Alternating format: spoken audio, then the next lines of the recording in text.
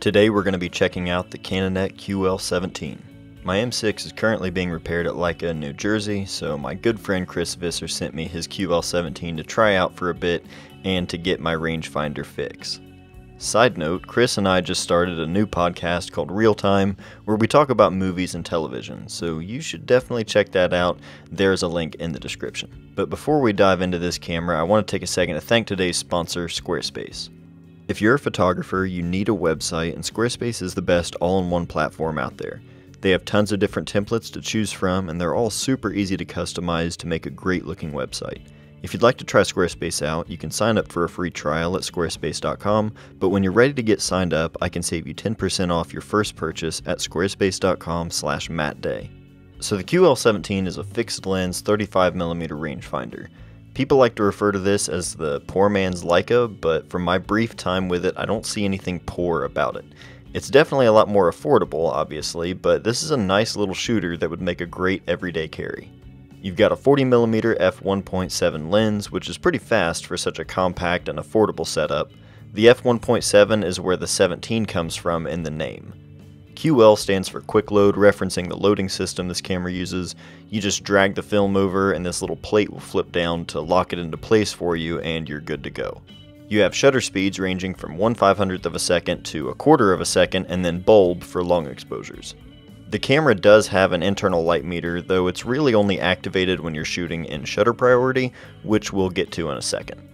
Your meter has a range of 25 to 800 which you can manually adjust. As for the shutter priority, you just set the aperture to A for automatic and then you can choose your own shutter speed. Depending on the light in your scene and the shutter speed you've chosen, the camera is going to choose the appropriate aperture.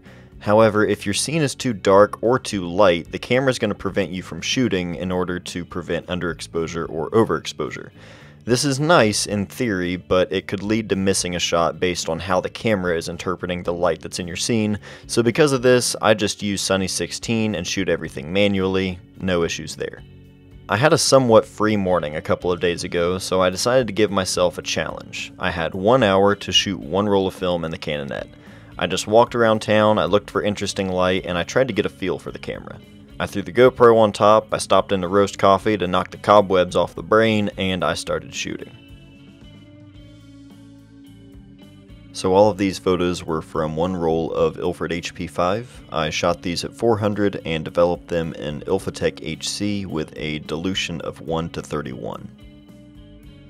One thing I did notice is on some of the photos where I was really particular about how I lined things up and the composition, it didn't really turn out the way I expected it to.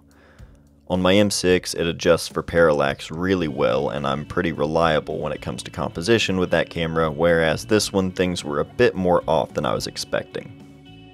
For whatever reason, that morning I was really drawn to photographing lines, so I was looking for a lot of lines in all of the light and shadow, and a couple of the scenes I photographed a couple of times, just changing little things in the composition, but not every change was that drastic enough to warrant showing every single photo, but you're gonna see pretty much 90% of them here.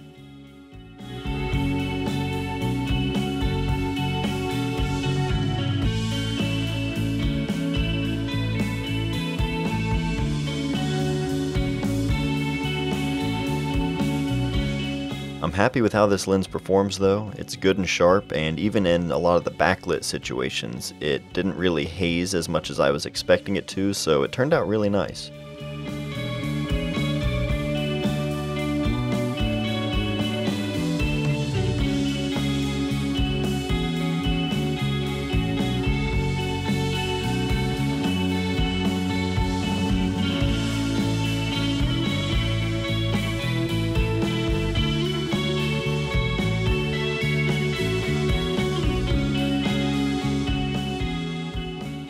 All in all, this was a fun challenge. One camera, one lens, one roll of film, and one hour. Uh, it was a lot of fun. I enjoyed doing this, and I've enjoyed this little camera. So big thanks to my buddy Chris Visser for loaning this to me. If you guys have any questions about the camera, please feel free to leave those in the comments below. So I hope you guys enjoyed this. Thank you guys for everything. Thank you for watching, and I'll see you guys next time.